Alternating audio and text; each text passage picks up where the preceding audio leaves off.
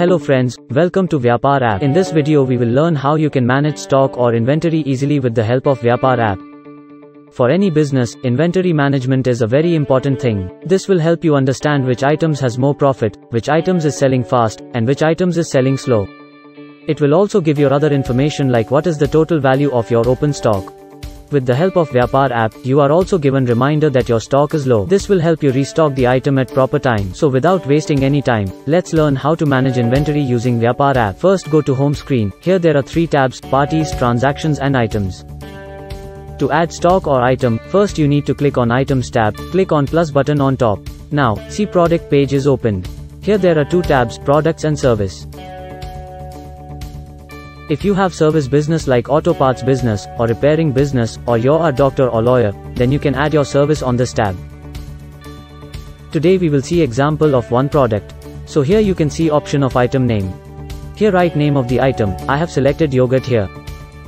Then you can see select unit tab, so if there is any unit of the item then you can select it here. See as primary unit we can see that there are many units in base units, like bottles, box, kilograms, grams, meter and all and there are also secondary units.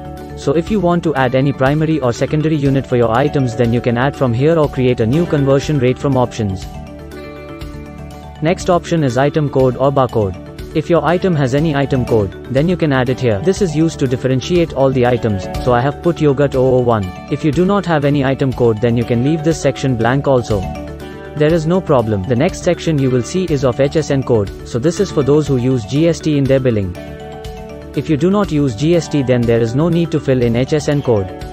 If you are a GST dealer then please fill in the HSN code of the product. The next section is about pricing details. Here you can see sale price option. Here you can add the price on which you want to sell the product. Then there is tax type. There are two options tax excluded and tax included.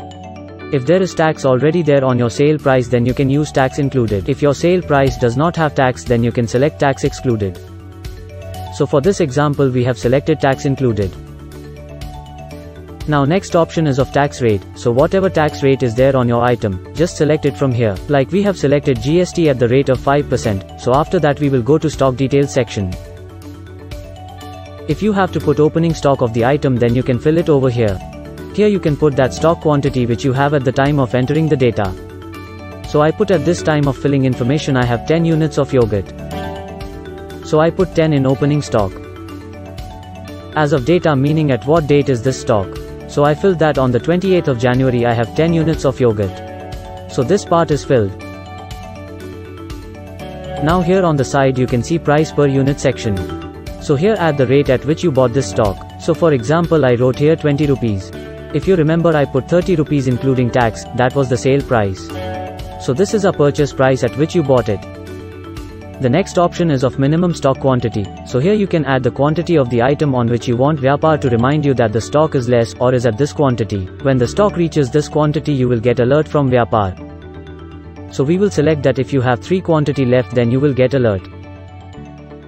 Then again you can see item location option, so here you can fill where you have kept this item in the shop, it will make it easy to search the item. Like for example I will put rack number 12.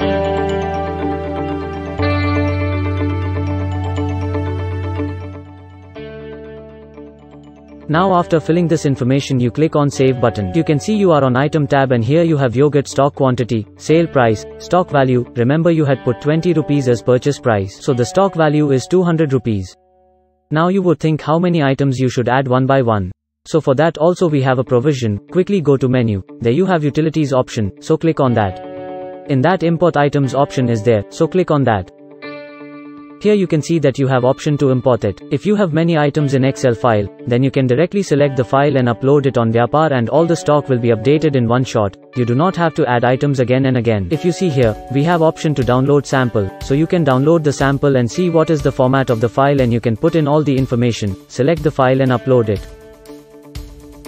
So today we learned how to manage item or stock on Vyapar. I hope that you liked this video and understood that with the help of Vyapar you can manage the stock easily.